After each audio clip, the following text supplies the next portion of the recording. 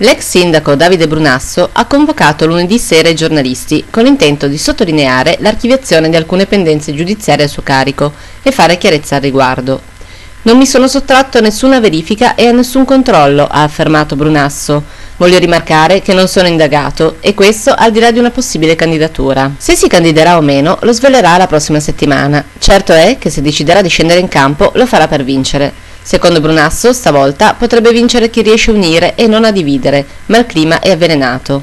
Circa la questione giudiziaria, Brunasso ha letto, alla presenza dei suoi due legali, le dichiarazioni che si era preparato, in modo da essere il più preciso possibile. Questa sera ho chiamato i miei avvocati Giada Caudera e Gianluca Garaffo e ne ho richiesto la presenza perché volevo terminare questa campagna mediatica che mi dipinge come plurindagato, quando in realtà le cose non stanno nei termini riferiti e riportati.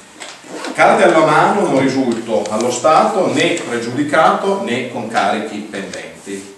Questi sono il certificato dei carichi pendenti della Procura di Ivrea e eh, il certificato del casellario giudiziale del Ministero della Giustizia. Sono qui, sono aggiornati al 14 di aprile che parlano chiaro.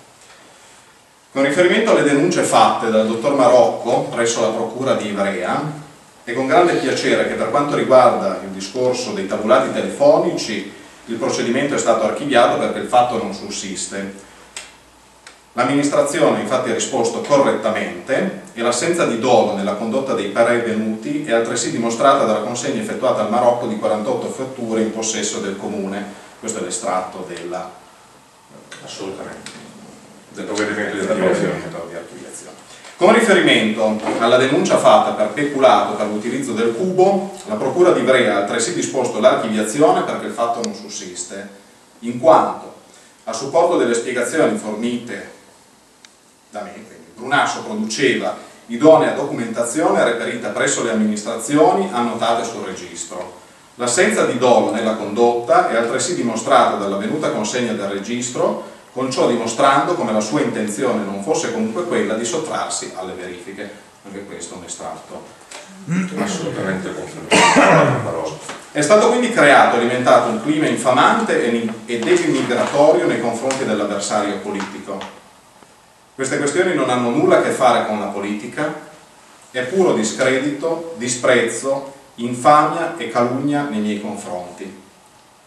Tutto questo dimostra oggi con chiarezza quanto le battaglie politiche condotte contro di me siano state solo incivili, infamanti, calunniose e pretestuose, al solo fine di destabilizzarmi e crearmi un'immagine non veritiera e distorta.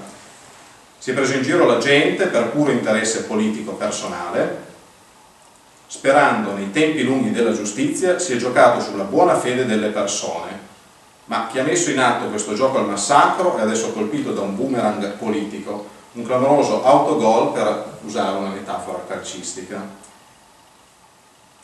Ho reagito, abbiamo reagito anche con il mio gruppo, con forza e con chiarezza.